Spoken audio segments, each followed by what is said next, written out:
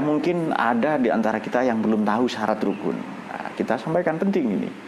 Barangkali ada yang lupa ya kan. Duh, saya ini kok enggak puasa? Saya enggak tahu pak syarat rukun puasa itu apa. Berarti kan saya belum wajib katanya itu. Nah itu pinter, pinter ngeles biasanya.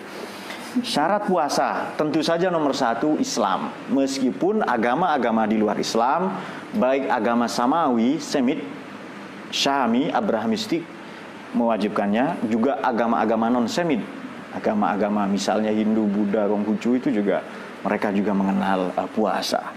Islam tentu saja. Yang kedua adalah akil.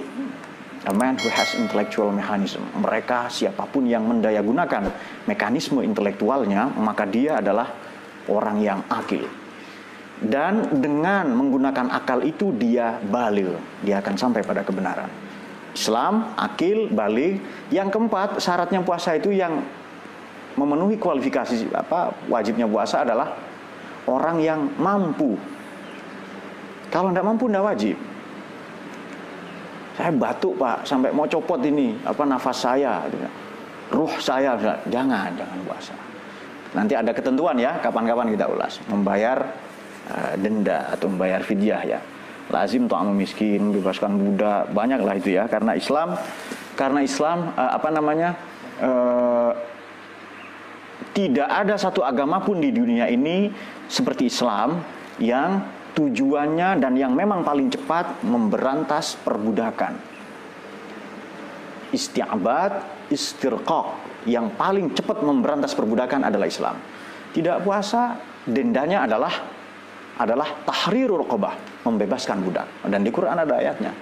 Fakku raqabah au it'amun fi yaumin za masroba yatiman za makroba dan lain-lain. Uh, tidak mampu berjuang berperang, kemudian apalagi uh, uh, uh, berjihad ya saya bilang sekarang banyak konteksnya kemudian kemudian bahkan melanggar janji melanggar sumpah dendanya membebaskan budak tidak puasa dan lain-lain kalau sholat tetap wajib kemudian kemudian syarat yang lain adalah bukan musafir bagaimana musafir itu wa in kuntum mardo tidak sakit juga syaratnya ya wa in kuntum mardo au ala safarin fa'iddatum min ayyamin ukhar yuridullahu bikumul yusr wala yuridu bikumul usr walitukmilul iddatah walitukabbirullaha alama ada.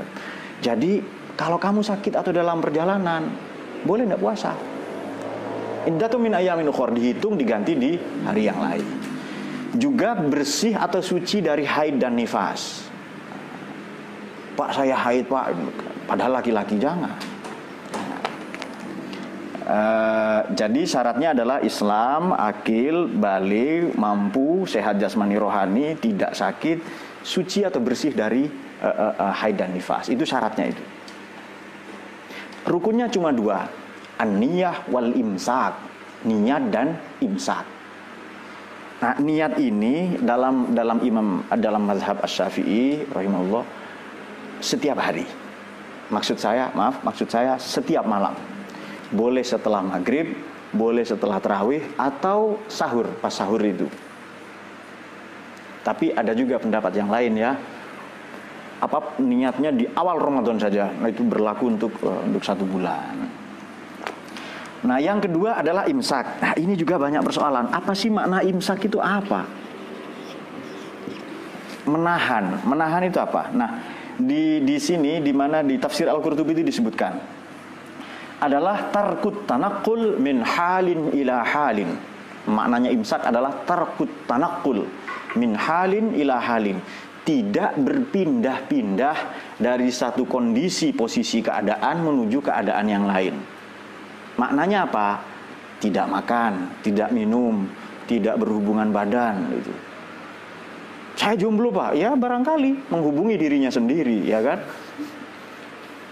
anak sampean belum sunat kok ketawa oh, ya, sudah sunat ya ya Alhamdulillah sudah sunat rukun puasa niat kita mulai di malam itu terjadi dunia ya yang kedua imsak eh, menahan diri nah imsak ini lazim dimulai terbit eh, sebelum uh, menjelang terbit fajar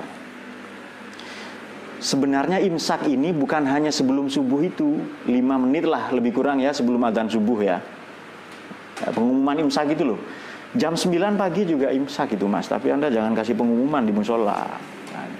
Jam 9, jam 10, jam 4 sore itu juga imsak, maknanya menahan.